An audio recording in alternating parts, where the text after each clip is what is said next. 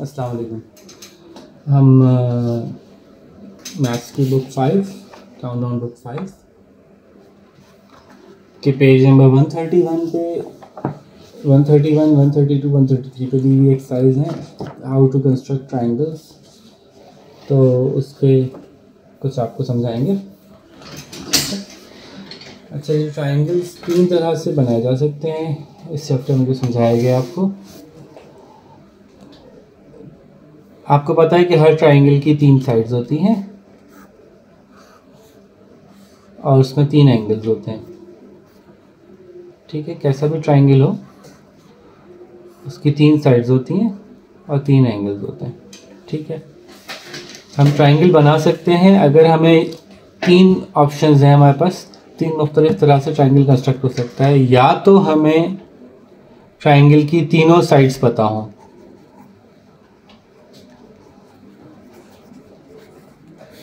ठीक है? या फिर हमें ट्राइंगल की दो साइड्स पता हों और साथ में एक एंगल पता हो और ये एंगल किसके दरमियान होगा? इन दो साइड्स के दरमियान का एंगल ठीक है? दो दो साइड्स हैं, उनके दरमियान एंगल क्या है? अगर ये हमें पता चल जाए तो अभी हम पूरा ट्रायंगल बना सकते हैं, हमें तीन साइड की लेंथ की ज़रूरत नहीं पड़ेगी फिर। ठीक है?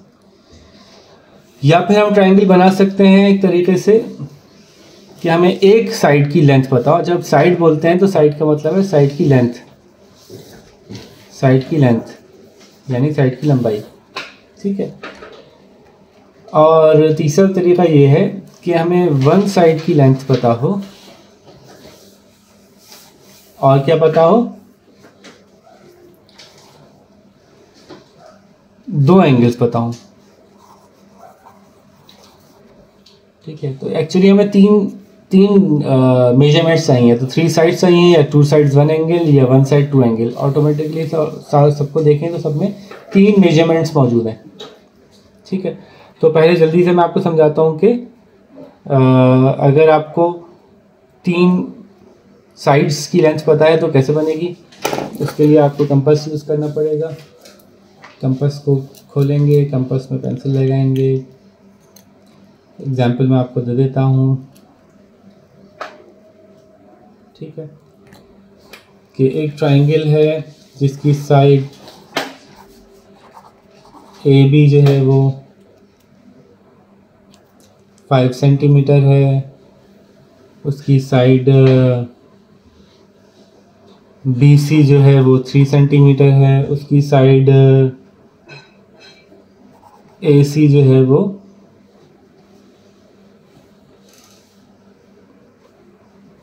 फोर सेंटीमीटर है। ये एग्ज़ाम्पल बुक में दी हुई है पेज वन थर्टी वन पे। तो अब मैं क्या करूँगा A B five centimetre scale से लगा लूँगा। जैसे भी लगा लूँ, उसका जो भी डायरेक्शन हो doesn't matter A B five centimetre ज़्यादा आसानी ये है कि पेज के सेंटर में रखते हुए ज़ीरो पे मार्क करें फाइव पे मार्क करें और दोनों को ज्वाइन कर दें। ख्याल रखें कि इसमें गंदगी खराबी, ऐसी ना हो कि जी देखने में समझ में नहीं आ रहा लाइन कहाँ से शुरू हुई। एंड पॉइंट स्टार्ट पॉइंट बिल्कुल क्लियर महसूस हो रहे हो, क्योंकि वहीं से फिर हमने आगे कंस्ट्रक्ट करना ये रहा इसका end point start point A B five centimetre ऐसे ही लिख लीजिएगा इसके ऊपर कभी बुक में देखेंगे तो बुक में ऐसे लिखा हुआ है। अब आप क्या करेंगे कि हमें पता है कि next side B C three centimetre है और वो उसके अगली साइड यानी एक बी सी बननी है, यहाँ कहीं एक ए सी बननी है, यहाँ कहीं, ये कहाँ जाके मिलेंगी हमें नहीं पता। तो एक रेंज है कि यहाँ से लेके यहाँ तक कहीं भी मिल सकती हैं दोनों आपस में। इसके लिए जो है वो कंपस यूज़ होगा। तो हम क्या करेंगे कि बी सी को थ्री सेंटीमीटर है तो थ्री सेंटीमीटर खोलेंगे। थ्री सेंटीमीटर खोलने के लिए ज़ीरो पे उसकी नोक रखेंगे और थ्री पे पेंसिल की नोक रखेंगे। फिर बी का जो डॉट बना हुआ है बी का जो एंड डॉट है, इस पर रखेंगे बी सी बनाने के लिए। और हम ये एक आर्क सी बना देंगे, एक आर्क बना देंगे, ताकि हमें पता है कि यहाँ से यहाँ तक में कहीं भी वो लाइन आ सकती है डिपेंडिंग के ए सी उससे आके कहाँ मिलेगी। अब ए सी कितनी है? ए सी फोर सेंटीमीटर है। तो अब हम ज़ीरो पे रखते हुए फोर सेंटीमीटर खोलते हैं। हमने फोर सेंटीमीटर खोला, और ए सी बनाने के लिए एक ही डॉट पे रखा है इसको, और इस आर्क को दूसरी आर्क के साथ कट कर दिया, ये देखिए इस तरह से। ठीक है? अब ये दोनों आर्क्स जहाँ मिल गए ये वो पॉइंट है हमारा।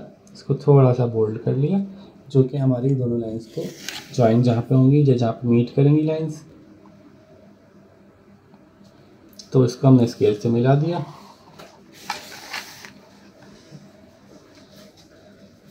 और इस सवाल को करने के लिए ये आर्क्स बनी छोड़ दें आप, ताकि ये पता चल जाए कि आपने कैसे कंस्ट्रक्ट किया।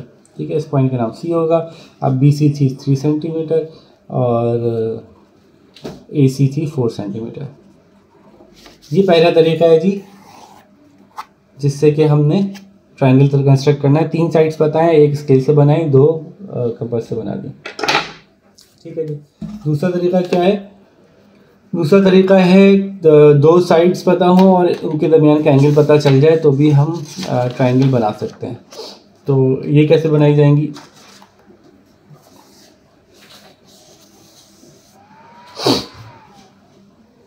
सबसे पहले तो जी आपको दो साइड्स पता है। एग्जांपल हम बुक की ही लेते हैं, जिसके अंदर हमें पी क्यू पता है फोर सेंटीमीटर हमें पता है पी आर फोर सेंटीमीटर ही दी हुई है उन्होंने, चलो एग्ज़ाम्पल वही वाली ले लेते हैं जो बुक में दी हुई और पी आर के दरमियान जो एंगल है, वो है फोर्टी डिग्री ठीक है? तो अब क्या करेंगे जी? पहले पी क्यू बनाएँगे फोर सेंटीमीटर की तो स्केल से बना लेंगे। पहली लाइन स्केल से बना लेते हैं आराम से। ठीक है, ऐसे ही बना लेते हैं। ज़ीरो पे रखा फोर पे रखा डॉट लगाया, इनको आपस में ला दिए डॉट पहले हम इसलिए बना लेते हैं ताकि ये इधर क्लीन वन है लाइन और इन डॉट्स को यूज़ करना होगा चूँकि आगे तो वो हमें ईजिली नज़र आ रहे हो डॉट्स ठीक है? अच्छा जी, उसके बाद हमें पता है कि दूसरी लाइन कितने कितने सेंटीमीटर की? फोर सेंटीमीटर की। अब इसको अगर मैं नाम दिया पी क्यू और दूसरी लाइन है पी आर तो पी आर का मतलब है यहाँ से शुरू होगी दूसरी लाइन और आर यहाँ कहीं होगा। ठीक है? तो हमें पता है कि पी आर जो है वो पी क्यू के साथ फोर्टी डिग्री पे है। तो हम जो है वो प्रोटेक्टर उठाते हैं। चूँकि पी आर और पी क्यू दोनों पी पे मिल रहे हैं तो हम पी पे ज़ीरो रखेंगे प्रोटेक्टर का। प्रोटेक्टर का ज़ीरो जो है जो प्रोटेक्टर का सेंटर पॉइंट है वो पी पे रखेंगे। ज़ीरो नहीं ज़ीरो नहीं सेंटर पॉइंट प्रोटेक्टर का जो सेंटर पॉइंट है ये वाला पॉइंट ये हम पी पे रखेंगे। और प्रोटेक्टर का ज़ीरो जो है वो हम क्यू पे रखेंगे। ज़ीरो क्यू पे रखेंगे। और लाइन को अलाइन कर देंगे। इस इस पॉइंट के साथ जो पी का डॉट है, इसके साथ इस डॉट को मिला के हम अलाइन कर देंगे। ये अलाइन हो गई लाइन स्ट्रेट हो गई। अब हमें पता है कि पी क्यू के दरमियान एंगल फोर्टी डिग्री है। तो हम यहाँ से zero गिनेंगे। Zero ten twenty thirty forty forty ये आ रहा है। यहाँ पे एक डॉट लगा देंगे फ़िलहाल। ठीक है अब इस लाइन को जो है वो हम पी और इस डॉट की लाइन को हम ऐसे मिलाएँगे। और Q और इस डॉट की लाइन को भी ऐसे मिला देंगे। जो जी, हमारा ऑटोमेटिकली पूरा ट्राइंगल कंस्ट्रक्ट हो गया। यहाँ पे हम लिखेंगे पी क्यू पे फोर सेंटीमीटर यहाँ पे हम लिखेंगे फोर्टी डिग्री अब आप कहेंगे कि सर दूसरी साइड कहाँ गई? जी तो अभी इसमें गलती है ये ये गलती हुई है इसके अंदर। क्या हुआ जी? इस लाइन को जब आपने लंबा नापा तो इस लाइन को इस पॉइंट से मिलाना ज़रूरी नहीं है। हो सकता है कि ये लाइन यहाँ कहीं हो, यहाँ कहीं हो, यहाँ कहीं हो तो ये कंस्ट्रक्शन अक्सर ये गलती इस कंस्ट्रक्शन में आती है कि आपने जहाँ प्रोटेक्टर से निशान लगाया होता है, वहीं दोनों लाइन मिला देते हैं। तो ये गलत हो गई। करना क्या था कि आपने जब फोर सेंटीमीटर लिया था पी क्यू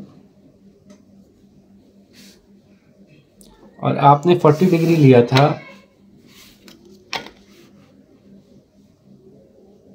पी आर के लिए। तो ज़रूरी नहीं था कि ये लाइन इतनी ही लंबी होती। तो जनाब, आपको स्केल को इन दो पॉइंट्स पे रखते हुए, इन दो पॉइंट्स के दरमियान लाइन बनेगी, लेकिन लाइन की लंबाई हमें बताई गई है, मौजूद है। वो है फोर सेंटीमीटर तो पहले आप नापेंगे ज़रा। पी के ऊपर ज़ीरो रखेंगे, जो पी का पॉइंट था। और जो नया हमने पॉइंट लगाया है, उसके ऊपर स्केल टच करेंगे और देखेंगे फोर सेंटीमीटर कहाँ आ रहा है। पता चला जी फोर सेंटीमीटर वहाँ नहीं आ रहा जहाँ डॉट लगा था। फोर सेंटीमीटर उससे पीछे कहीं आ रहा है इसी सीज में। तो उस सीज के अंदर आप एक पॉइंट फोर सेंटीमीटर का लगाएँगे। एक्चुअली ये है हमारा असल पॉइंट वो पॉइंट तो इसलिए था कि ये याद रहे कि इस डायरेक्शन में, इस एंगल पे लाइन बननी है। लेकिन लंबाई कितनी होगी, वो मौजूद है, हम उस उस मौजूद मौजूद मेज़रमेंट के हिसाब से लंबाई बनाएँगे। तो अब इस पॉइंट से हम इन दोनों को मिलाते हैं। जी जनाब। So this is the correct 40 degree 4 centimetre and 4 centimetre तीसरी साइड हमें नहीं पता थी, ये तीन चीज़ हमें पता थी। तो P, Q एंड R ये वाला पॉइंट जो यहाँ बना हुआ है, इसको बना छोड़ देंगे। अगेन कंस्ट्रक्शन कर रहे हैं ना हम। तो उस कंस्ट्रक्शन के हिसाब से ये वाला पॉइंट बना छोड़ देंगे ताकि पता चल सके कि हमने कैसे बनाया था। अब हम बात करेंगे चौथा तरीका ओ तीसरा तरीका। तीसरा तरीका क्या है कि हमें एक साइड पता है और दो एंगल पता है। अगेन आसान है। आ, इसी बुक की एग्जांपल को मैं समझाता हूँ आपको। जिसमें कि आपको दिया हुआ है एक्स वाई जी बनाना है। और लंबाई हमें पता है डब्ल्यू एक्स की अच्छा क्या है? डब्ल्यू एक्स वाई है डब्ल्यू एक्स वाई और डब्ल्यू एक्स की लंबाई है थ्री पॉइंट फाइव सेंटीमीटर जब एग्ज़ाम्पल देते हैं तो डेसिमल में नहीं ले जाना चाहिए। चलो खैर, सही है। थ्री पॉइंट फाइव सेंटीमीटर उसके बाद हमें पता है कि एक है डब्ल्यू एक्स डब्ल्यू वाई उसका एंगल है जी फिफ्टी डिग्री और एक है जी ये ये लेंथ को ऊपर मार्क कर देते हैं लंबाई से। और एक्स डब्ल्यू वाई को हमने एंगल से मार्क कर दिया। एक एंगल है डब्ल्यू एक्स वाई उसकी मेज़रमेंट है जी फोर्टी फाइव डिग्री अच्छा जो सेंटर में होता है एक्चुअली ये है एंगल का पॉइंट ठीक है तो पहले हम डब्ल्यू एक्स लगा लेते हैं, वो तो आसान है ना। पहली बात हो गई कि लेंथ पता होती है, अगर पहली लेंथ पता है तो उसको हम जल्दी से स्केल से ही ड्रॉ कर लेते हैं। तो W X three point five centimetre बना के दिखाते हैं जी, हम ज़ीरो पे डॉट ले लिया। थ्री पॉइंट फाइव पे डॉट ले लिया और इनको आपस में मिला दिया। ठीक है, ये डॉट क्लीन रखने के लिए हम लेते हैं। इसके बाद आपको पता है कि अब हमें इसी लाइन पे दो एंगल लेने हैं। ठीक है, एक ये डब्ल्यू और एक्स तो ये जो ये जो एक्स जब एक्स डब्ल्यू वाई था, इसके सेंटर में डब्ल्यू आ रहा है तो यहाँ आएगा। और डब्ल्यू एक्स वाई के सेंटर में एक्स आ रहा है तो ये एंगल यहाँ से बनेगा। अच्छा जी, यानी डब्ल्यू को जब सेंटर लेंगे तो प्रोटेक्टर का सेंटर पॉइंट जो है वो हम यहाँ रखेंगे। और ज़ीरो जो है वो एक्स की तरफ़ निकालेंगे। लाइन को हम 50 डिग्री पे पॉइंट ले लेंगे। ये रहा 50 डिग्री का पॉइंट अगेन ये याद रखिएगा, जैसे पिछली एग्जांपल मैंने दिया था, ये पॉइंट असल में नहीं है जितनी लेंथ होगी, हमें भी नहीं एग्जैक्टली पता। ठीक है पॉइंट ले लिया हमने। उसके बाद जी हमने नेक्स्ट डब्ल्यू एक्स वाई के लिए 45 डिग्री लेना है तो एक्स पे रखेंगे और ज़ीरो इधर लेंगे। ठीक है?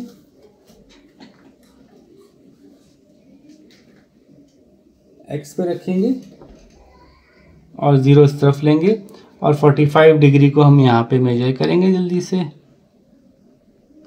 अब ये दो पॉइंट्स आ गए हमारे पास। ठीक है जी? यहाँ से हम टेंटेटिव लाइन बनाएँगे सॉलिड लाइन नहीं बनाएँगे, बल्कि एक लाइट कलर की लाइन बनाएँगे। और यहाँ से हम एक टेंटेटिव लाइन बनाएँगे सॉलिड लाइन नहीं बनाएँगे, बल्कि एक लाइट कलर की लाइन बनाएँगे।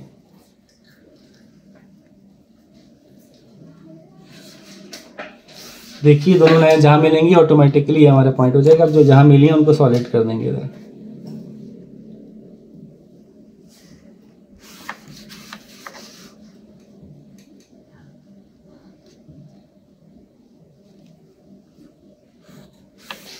ठीक है जी तो यूँ हमारे पास ये 3.5 है, ये 50 है 50 डिग्री ये 45 डिग्री है, और ये हमारे पास आ गया वाई ये तीसरा तरीका था जी ट्राइंगल कंस्ट्रक्ट करने का।